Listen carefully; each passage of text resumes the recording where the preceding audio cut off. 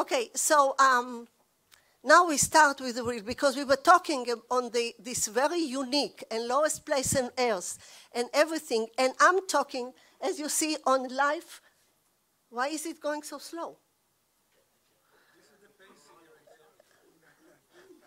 So, um, doesn't matter. No. No, this is just, it goes too small. No, uh, anyway, so you see it slowly and you can focus on each picture and each piece of, uh, of salt. But anyway, um, it drives imagination. But anyway, uh, this very unique place, what I want to do is a short summary following what Yossi said on the various area and following what the research that was already done here as a proof. And this is kind of the a structure of this meeting.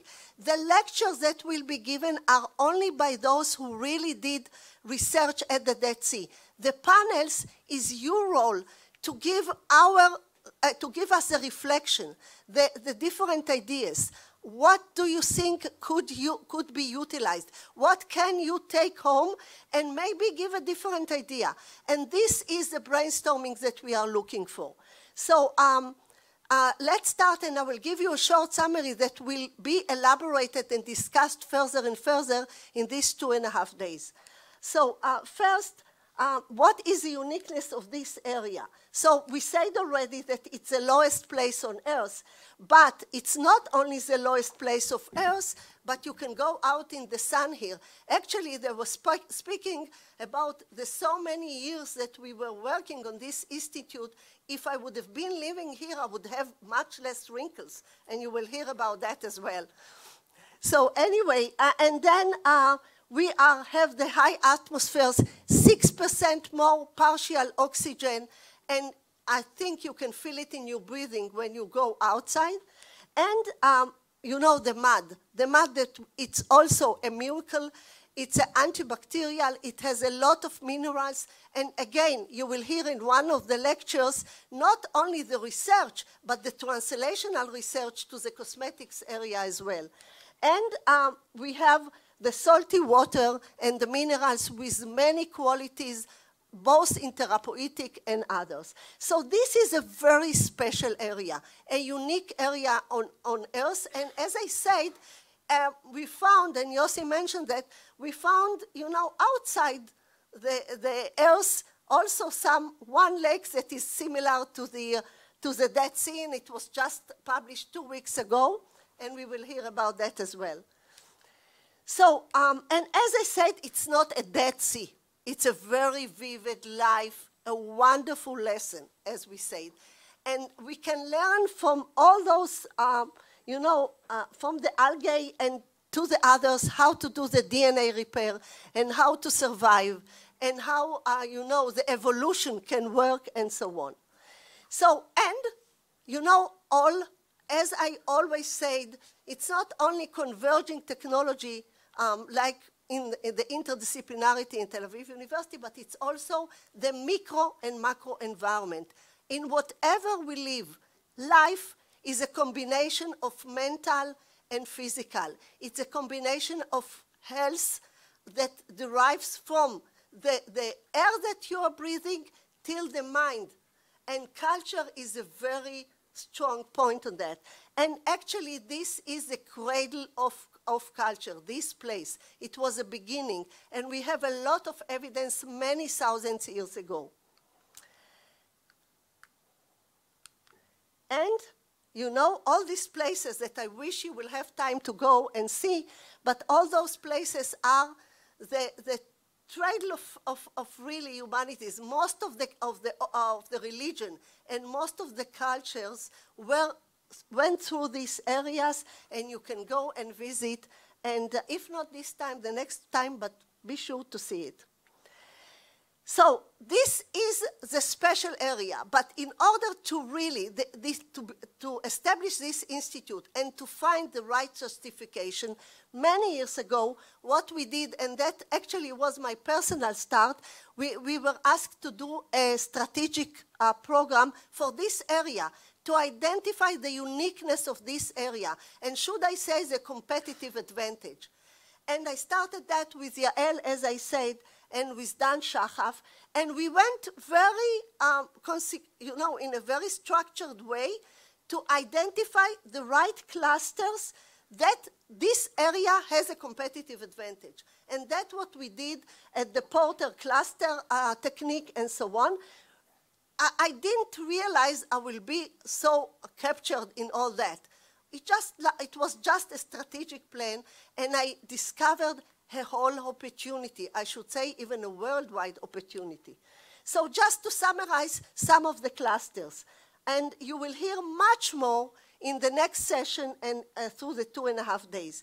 So this is just the medical and health competitive advantage. And you can see how many different area and how many different people we can help with if we just understand, if we just investigate, or maybe translate it to wherever you are. So this is all those areas, you will hear most of them. We won't be able to cover all, but you know, this is opening the door. And two major ones, which is one is the cardiovascular disease, and uh, the other one is, uh, you know, the, the, I say that we have 6% more oxygen. It feels better mentally and physically. But, um, you know, just one example, and um, we have the doctors here, and we'll have the, the very detailed lectures um, but a research that was done here by the Carmel, and it's mentioned that if we do the cardiovascular, you know, operations here, we might um, save more people and help more uh, patients. And not only that, uh, Jonathan Trent is here with us, but I met him many years ago when he told me about the NASA efforts. And here it's not only the volcanic. You can do the same at the Dead Sea with the algae of the Dead Sea and all that to, to start and understand how do they survive, how did the evolution solve it, how do you do DNA repair and so on. And uh, Dov mentioned already Ada Yonath. She would never get the Nobel Prize uh, if not the Dead Sea. So, you know, if you are ambitious enough, try to work here. You might get the Nobel.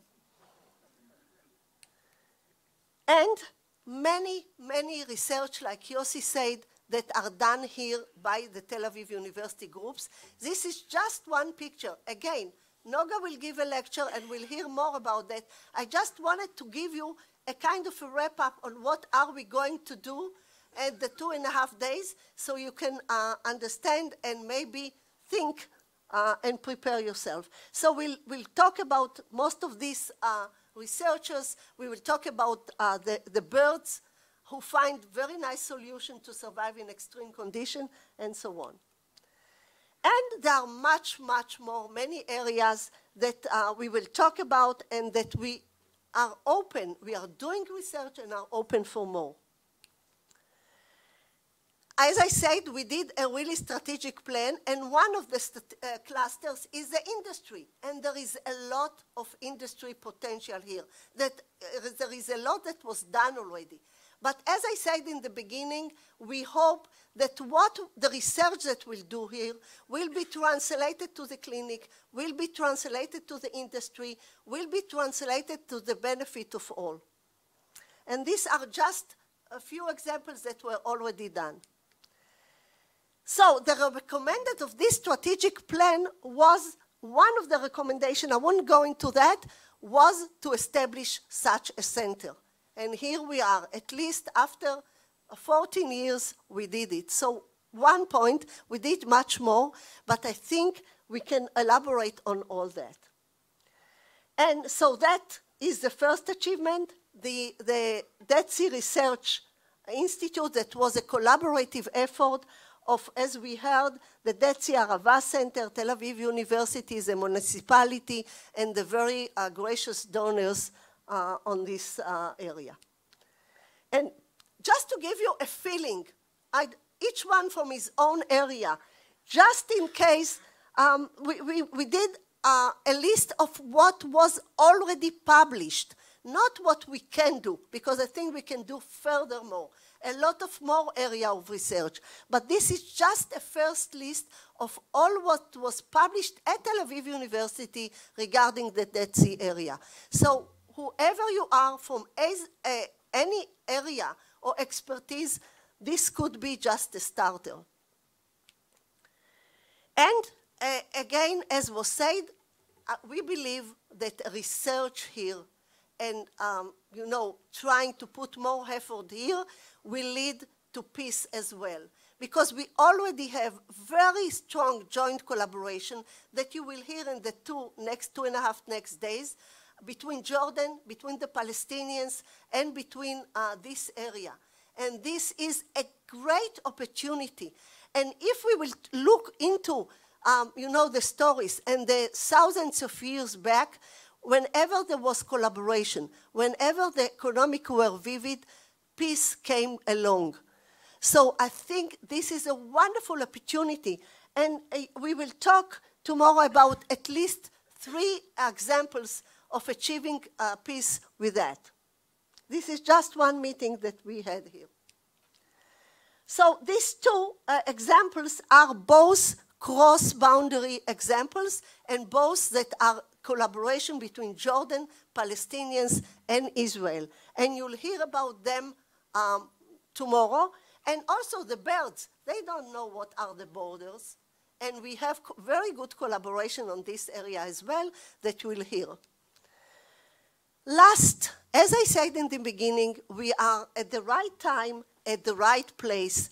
The world is talking today much more than ever about converging technology, about interdisciplinary, about cross-section. We are not as, uh, the, uh, even the academia and uh, the, uh, the research institute, we are not as structured as before. We are daring to cross. And this is an example and the priorities of the United States and um, Asia and Europe are towards this main effort, towards gaining the benefit and joining forces from all point of view. So with this blessing, I do hope that the, our minds are prepared. As uh, Pasteur said, chances favor, favor the prepared mind. So I hope you are prepared to two days of very strong collaboration and, and um, joint collaboration that will go on nationally and internationally. Thank you very much.